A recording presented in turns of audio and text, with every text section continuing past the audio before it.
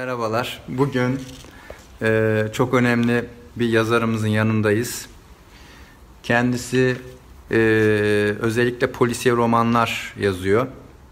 E, Genç Osman Denizci Yaklaşık, yaklaşık 10 yıl önce tekrar görüştük. Muhasebeden Muhasebeden değil mi? Evet şu anda e, dediğimiz gibi sayın e, yazarımız Genç Osman Denizci ile birlikteyiz. İlk kitabımı kendisine Necmettin olun. imzalıyorum. Türkiye'de farklı bir polisiye. Ee, şehirleri geziyorsunuz, cinayetleri çözüyorsunuz ve aynı zamanda ülkemizin değişik dertlerinde çözüm arıyorsunuz. Mesela bu ilk kitabımda ülkemizdeki tarihi eser kaçakçılığı konusuna parmak basıyorum. Bizim eserlerimiz yaklaşık 150 yıldan beri yağmalanmıştır. Bugün bile hala korumakta sıkıntı yaşıyoruz.